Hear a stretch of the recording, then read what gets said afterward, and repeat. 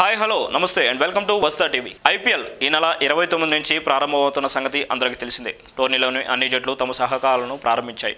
ఇక గతేడాది వన్డే ప్రపంచ కప్ తర్వాత భారత జట్టుతో పాటు మైదానానికి దూరంగా ఉన్న మాజీ కెప్టెన్ ఎంఎస్ ధోని తాజాగా చెన్నైకి చేరుకున్నాడు. మూడోసార్లు ఛాంపియన్ చెన్నై సూపర్ కింగ్స్తో జట్టుతో కలిసి తన ప్రాక్టీస్ను ప్రారంభించాడు.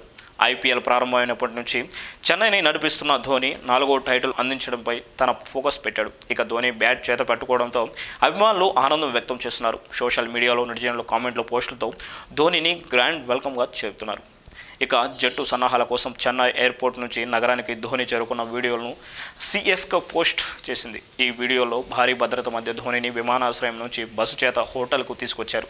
హోటల్ ప్రాంగణంలో తనకు సమత్కరించి సిబ్బందికి షేక్ హ్యాండ్ ఇచ్చిన ధోని తన మంచి మనసును చాటుకున్నాడు. హోటల్ చేరిన తర్వాత పుష్పగుచ్చాలతో ధోనిని జట్టు యాజమాన్యం వెల్కమ్ చెప్పింది. పోస్ట్లో విజిల్ పోవడం హెస్ విజ్జుడెన్ అనే హ్యాష్ ట్యాగ్లను జత చేసింది. ఎన్నో అంచనాలతో వన్డే ప్రపంచ కప్ ఆడిన భారత్కు సెమీస్లోనూ భంగం పాటు ఎదురైంది.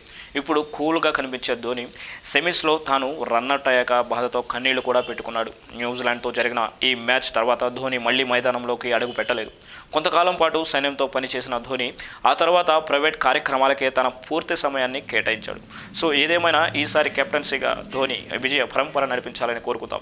సో చూసారు కదా ఫ్రెండ్స్ ఇలాంటి క్రికెట్ అప్డేట్స్ గురించి తెలుసుకోవాలనుకుంటున్నారా? అయితే వస్తు వస్తా టీవీని సబ్స్క్రైబ్ చేయండి షేర్ చేయండి థ్యాంక్ యూ ఫర్ వాచింగ్ వస్తా TV thank you darlings bye